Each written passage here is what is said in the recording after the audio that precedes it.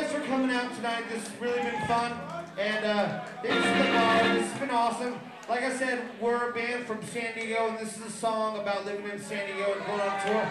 This one's called My Town.